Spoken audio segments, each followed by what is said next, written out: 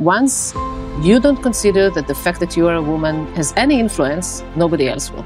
You have to take it out of the table. My experience at Sheba, I don't think that there's any distinction between a female or a male, and I think that that's something very special.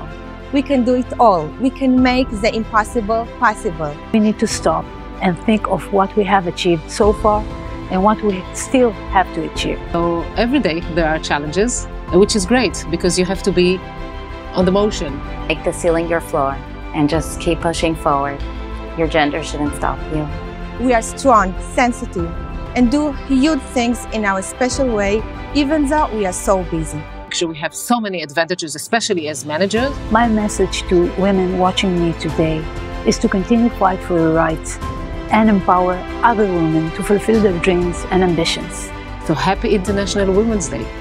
Happy International Women's Day. Happy International Women's Day. It's Happy International Women's Day from all women at Sheba.